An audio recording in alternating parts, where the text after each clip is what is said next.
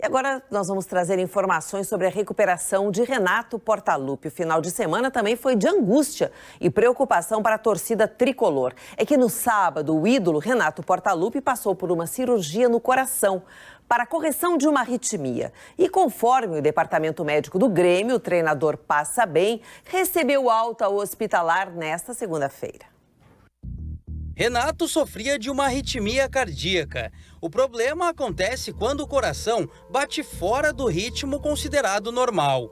O treinador gremista tinha uma fibrilação atrial, o tipo mais comum entre os atletas. Vou repetir, não é uma arritmia que dá morte súbita, infarto. Então, assim, Primeiro, não se preocupem com isso, porque essa é sempre a grande, assim, é o grande medo do atleta, não é por aí. Tá? O grande problema desse tipo de arritmia é sintoma, é a pessoa sentir palpitação, cansaço, é a chance de formar coágulos e fazer derrame, é a chance de ficar com demência mais precoce. Então, em algum momento tinha que se fazer isso. Mas, assim, não, não é que ele esteve correndo um grande risco de morrer subitamente Importante que se diga não, tá? Até porque passaria uma ideia de que ele foi responsável, absolutamente não.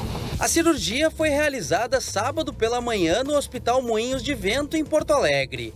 Nesta segunda-feira, o treinador recebeu alta hospitalar e já iniciou o processo de recuperação. Conforme o departamento médico tricolor, em uma semana, Renato deve voltar à rotina de atividades normais no comando do grupo de jogadores gremistas.